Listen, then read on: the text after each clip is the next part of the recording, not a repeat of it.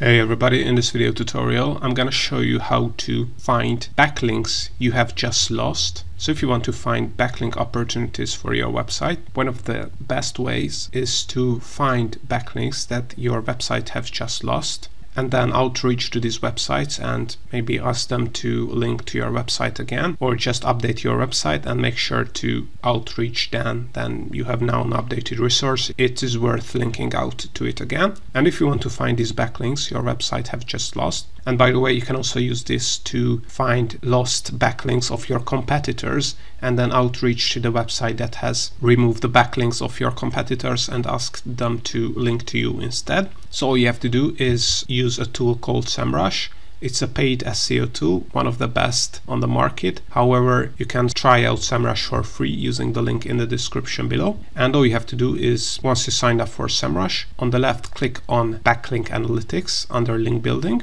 And all we have to do is add the domain name of the website you want to find the lost backlinks of. So in this example, I'm going to use nerdwallet.com, which is a financial education website. So they are writing about personal finance, investing, credit cards, and a lot more other financial stuff. So add the domain, then click on analyze here. Wait a couple of seconds till the backlink analytics report is being generated.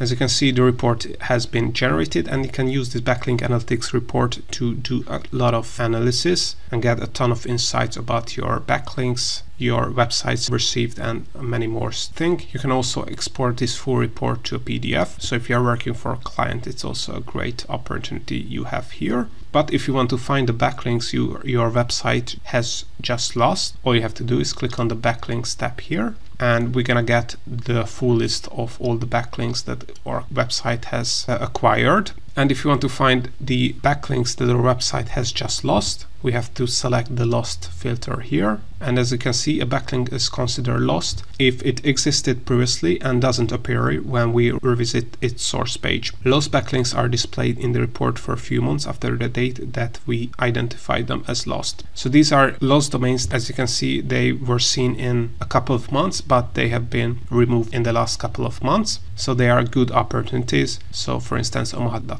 which is like a state website. As you can see, they have removed a ton of backlinks from nerdwallet.com so you can outreach them and ask them why they have removed these links and maybe get back at least one backlink from them. So as you can see, you can get the full list of all of these backlinks. As you can see, almost 10,000 pages and there's, I think, 100 backlinks per page. So you can get almost 1 million backlinks you have just lost in the last couple of months. And as you can see, you can also export out all of these results and then do some magic in Excel or in Google Sheets and find golden backlink opportunities for your website based on these lost backlinks reports. If you want to get more ideas on how to get more backlinks or more SEO traffic using SEMrush amazing tools, I have a ton of tutorials on my channel. And as I mentioned, if you want to try out SEMrush for absolutely free, you can use the link in the description below. See you next time.